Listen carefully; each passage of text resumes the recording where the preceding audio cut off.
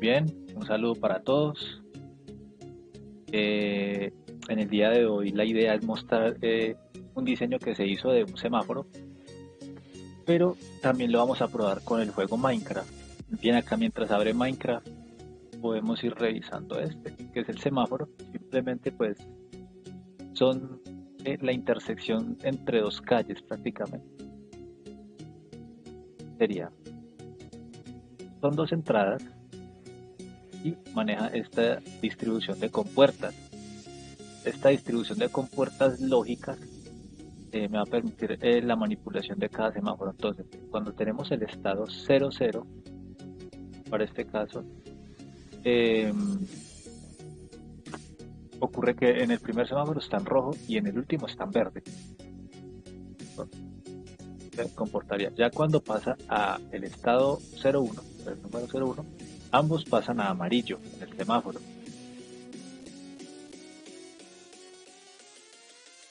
Posteriormente, cuando pasamos al número 2, se intercambian, quedan opuestos nuevamente, donde el semáforo de arriba está en verde y el de abajo en rojo. Finalmente, cuando pasa 1-1, pasa amarillo ambos, haciendo como esa transición. Y ese sería el funcionamiento básico de este semáforo que pues podemos mirar que, cómo funciona en, Minecraft. Y pues también pues queríamos revisar acá, paremos acá como paramos la situación emulación acá y conectamos los valores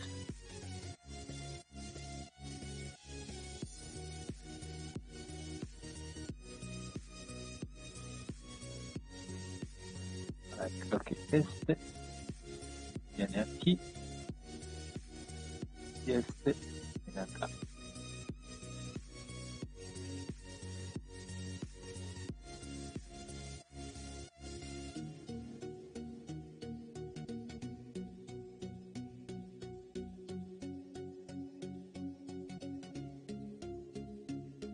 Con un pulso de un segundo acá tenemos los contadores. Y acá está moviendo el semáforo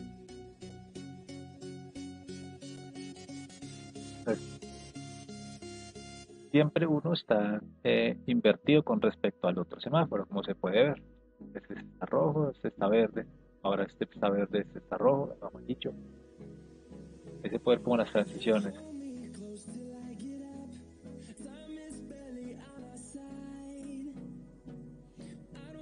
Esto lo podemos ver mejor en un ejemplo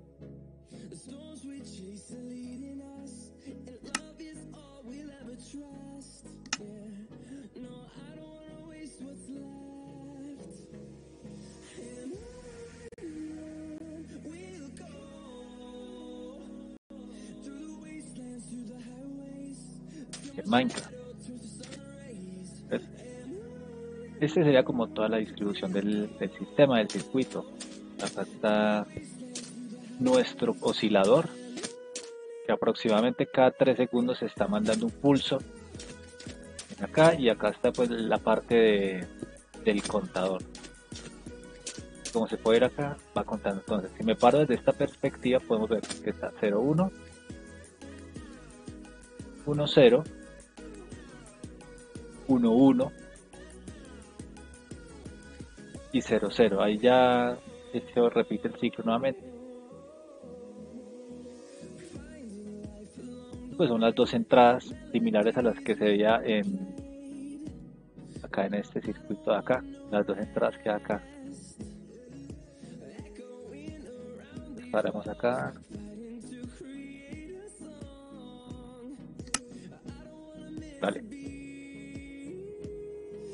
Entonces, pues esa es toda la distribución de circuitos, circuitos lógicos, las compuertas.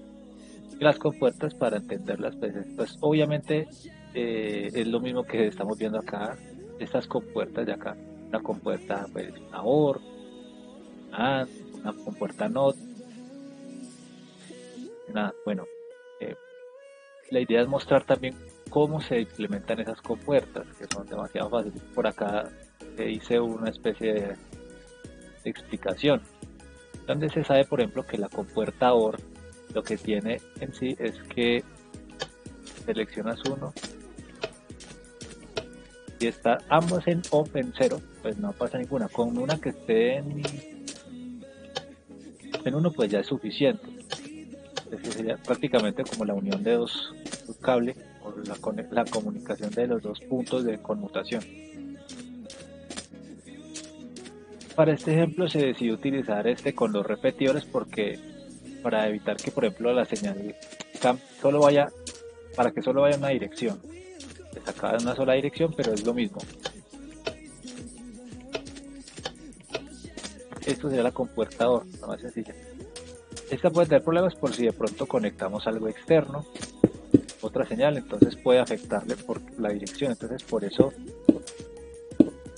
por eso se utiliza estos repetidores para bloquear el camino para que solo se venga por acá por acá y no se venga por acá entonces eh, tiene esa, particularidad, aunque pues genera pues un retardo acá cuando va en esta dirección.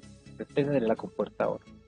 La compuerta NOT, la negación, es muy fácil. Por ejemplo, acá está en bajo y acá esta antorcha está en alto. Pero si yo la enciendo, acá se puede evidenciar el color del rojo del redstone y acá se apaga. Ese es siempre como el proceso inverso. Cuando apago, prende acá. Cuando prendo, apaga. Ese sería el problema de la red. Tema. Acá está la compuesta AND. Y acá pues planteé dos. Se sabe que la compuerta AND es cuando, por ejemplo, cuando hay dos entradas en 0, 0, no pasa nada. Cuando hay una y la otra está en 0, tampoco pasa nada. Ambas deben estar en 1. Esa es la lógica de la compuerta AND, que ambas entradas están en 1. Este es otro diseño de ese mismo sistema, entonces. Esta está en alto, no pasa nada. Y la otra en bajo. Ahora, esta está en alto y la otra en bajo y nada. Entonces, cuando las dos estén en alto, existe. Esa es la compuerta AND.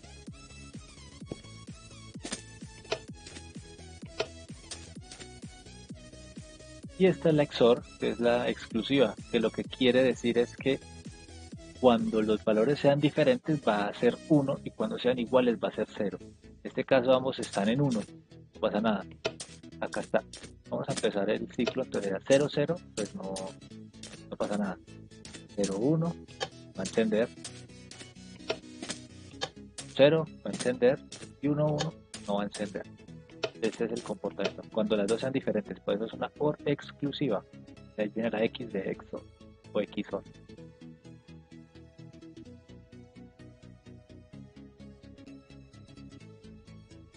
Bien, retomando, este sería pues el diseño de, como se había dicho, del contador.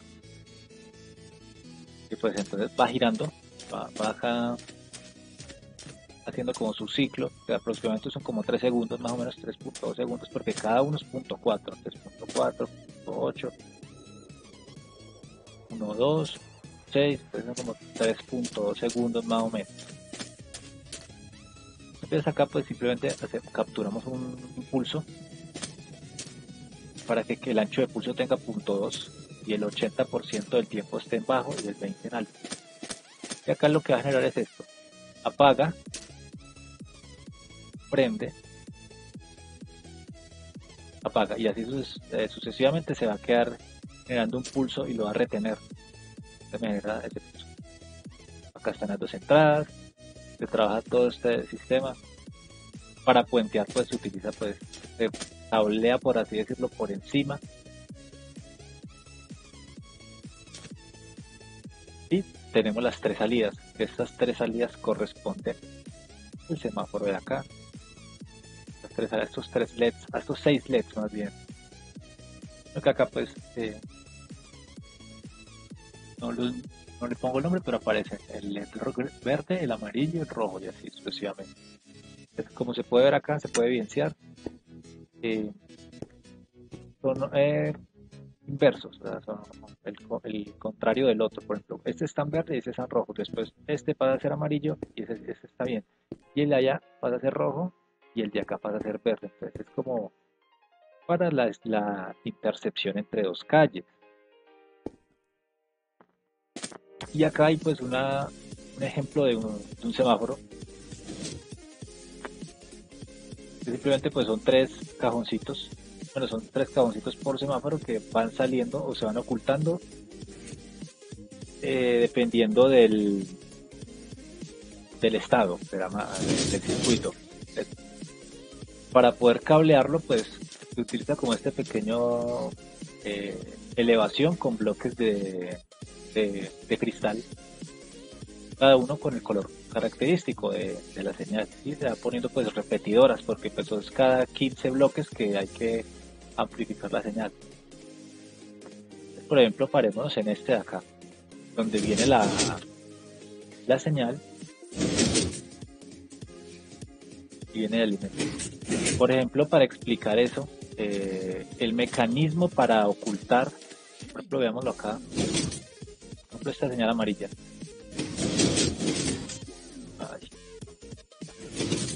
Sale, se guarda y se oculta, y luego otra vez el sistema se empuja y sale, se trae y se oculta. Este sistema se puede implementar de la siguiente forma. Acá, tengo uno, pero pues vamos a hacerlo desde cero para entender el funcionamiento. Podemos tener, por ejemplo, hacer un portal, una puerta, pequeña puerta.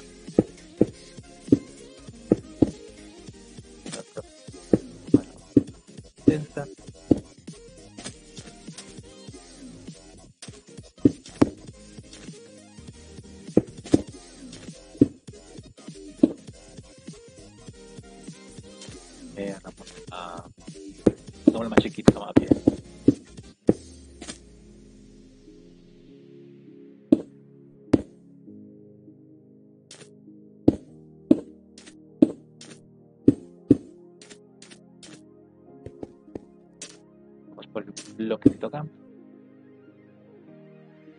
Ponemos, estos son pistones pegajosos que ellos tienen la capacidad de adherir al objeto, por ejemplo en este caso se va a adherir a esto verde. O para notar la diferencia, podemos poner este.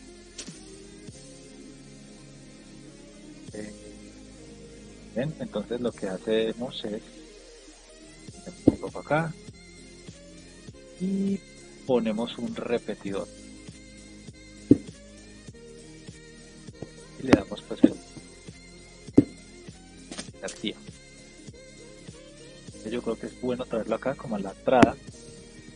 Efectos.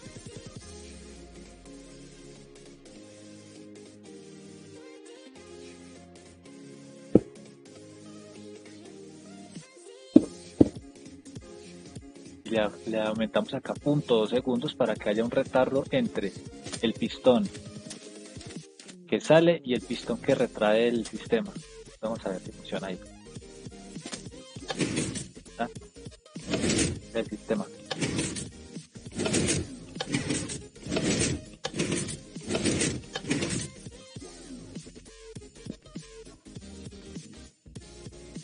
Ese es el mecanismo que está funcionando para para acá para los para el semáforo. como podemos ver, si yo vengo por acá, entonces yo esperaría el semáforo. Eh, allá está en rojo, acá está en verde, en amarillo, entonces yo voy preparándome para mover. Y acá está en verde y yo pasaría. Se puede ver que es como, son, lo contrario. Este está en rojo y este está en verde. Después ambos amarillo. Se supone que este de abajo tiene que estar en verde y este en rojo. Ese es como el comportamiento de este sistema de semáforo aplicado pues a, a Minecraft.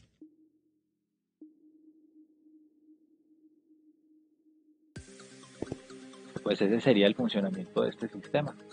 Sistema eh, que pues a priori se ve pues complejo de implementar debido a tanto tantos como tantos bloques que hay que poner en práctica porque pues no hay como módulos creados para este tipo de, sistemas, de implementaciones, pero pues es interesante hacerlo porque eh, mejora uno mucho, mucho, como mucha habilidad en cuanto a diseño de sistemas. Entonces como que invita a hacer el esfuerzo siempre a implementar estos sistemas. Pues nada, pues este sería pues la, conclusión de este, de este video. Eh, muchas gracias por la atención prestada. Esperemos eh, hacer un nuevo sistema más interesante. Pues nada, no estoy haciendo más, pues gracias para todos.